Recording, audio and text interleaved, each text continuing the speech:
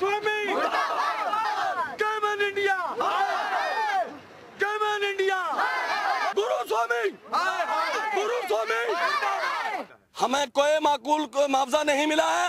2007 में इन लोगों ने, जिन लोगों के घर यहाँ पे तबाह हुए जिन लोगों की जमीनें यहाँ पे तबाह हो गई, उनको 2007 में इन्होंने बिल्कुल थर्ड क्लास रेट पे पैसे दिए हैं, चंद लोगों को, बाकी लोगों के पैसे अभी भी पेंडिंग पर आज के दौर में गैमन इंडिया के अंदर 30 परसेंट लोकल लोग जो हैं, वो नहीं एडजस्टमेंट हुए हैं। किसी को सप्लाई में रखा हुआ है, किसी को ऐसे ही मजदूरी पे रखा हुआ है।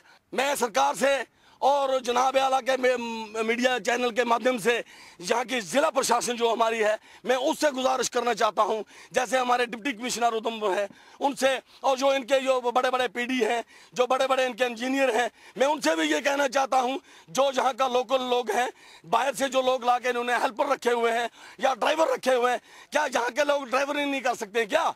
यहाँ के लोग हेल्पर नहीं बन सकते हैं क्या? यहाँ के लोग ठेकेदार नहीं बन सकते हैं क्या?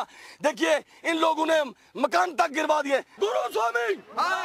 गुरु स्वामी!